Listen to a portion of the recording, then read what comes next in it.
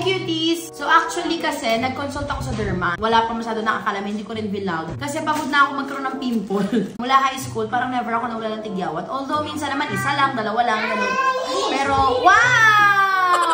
Gusto ko na kasi maging clear skin. Nag-consult ako sa derma. And yung derma ko is yung dito, rin, dito ko rin nakita sa TikTok, si Doc Tanya ng Azaki Pimple Clinic. And ito na yung mga yung gamot na nireseta niya, yung may isotretinoin, pinagka-isotretinoin ako. Pinag-usapan naman namin to ni Gio. May, may mga dapat alamin dito, hindi to basta-basta tinitig. And yung mga skincare na nire-recommend ni Doc Tanya.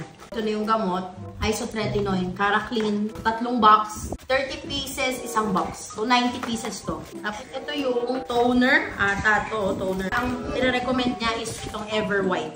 Ever White Toner. Ito yan, Ever White. Wow.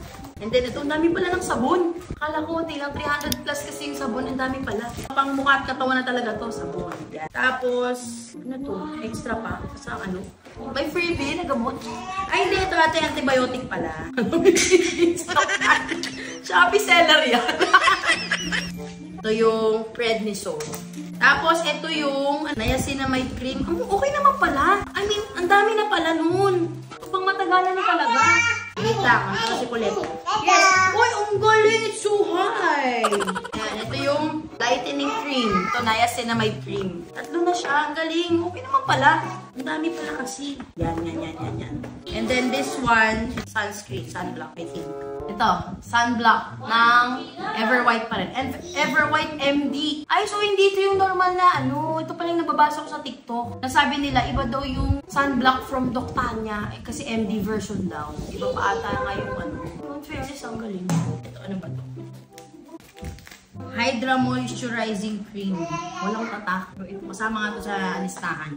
Ito yung mahal. Itong isa na to is 1,000 pesos. Ito ba? Ito lang. Itong cream na to. Ano kaya? Kung ko lang to. Hindi ko alam to eh.